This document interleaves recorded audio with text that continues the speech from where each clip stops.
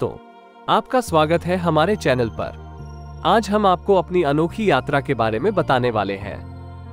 हमने तिरुपति बालाजी के दर्शन के लिए अलीपीरी द्वार से यात्रा की। शुरुआत की थी जिसमें हमने कुल 3,550 सीढ़ियाँ चढ़ी हैं। चलिए अब हम अपनी यात्रा की शुरुआत करते हैं। ये पैदल यात्रा से पहले आपको एक रजिस्ट्रेशन। करवाना पड़ता है जो अलीपीरी गेट से पहले हमको भूदेवी कॉम्प्लेक्स में करवानी पड़ती है जहाँ आपको एक टिकट दिया जाता है और ये टिकट बिना बालाजी का दर्शन नहीं कर सकते। यहाँ हम अलीपीरी द्वार पर हैं, जहाँ से हमारी यात्रा नारियल तोड़ के शुरू यहाँ से शुरू होकर हमें 3,500 सीढ़ियाँ चढ़नी होंगी तकरीबन 10 किलोमीटर की दूरी तक। हम आपको इस यात्रा के दौरान हमारे अनुभवों के बारे में बताएँगे। यहाँ हम 500 सीढ़ियों के पार हो चुके हैं और ये कहना मुश्किल होगा कि इन्हें चढ़ना काफ़ी कठिन था। इस तरह के चढ़ाई में शुरुआत में थकान महसूस होती है। हम अनुभव कर रहे हैं कि इसके बाद सीढ़ियों को चढ़ना आसान हो जाता है।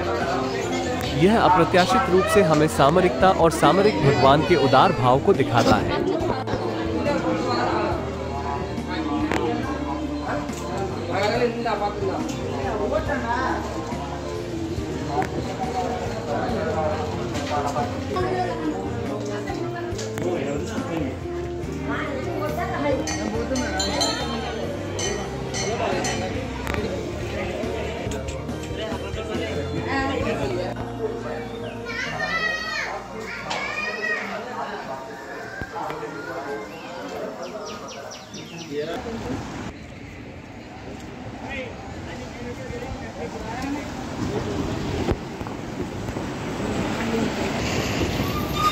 सुबह छह बजे शुरू हुई ये यात्रा तिरुमला पहाड़ पर हमें 10 बजे पहुँच देती है। दर्शन से पहले यहाँ अपना मोबाइल जमा करने की सुविधा है। दर्शन के बाद आपका मोबाइल मंदिर के बाहर बने कार्यालय में वापस प्राप्त कर सकते हैं।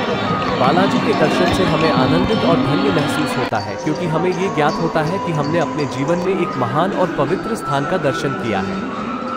हम भगवान तिरुपति बालाजी की कृपा से आशीर्वाद प्राप्त करते हैं और अपने जीवन में धार्मिकता और आध्यात्मिकता का पाठ पढ़ते हैं। इसलिए तिरुपति बालाजी के दर्शन से हमें संपूर्ण आनंद और आध्यात्मिक संतुष्टि का अनुभव होता है।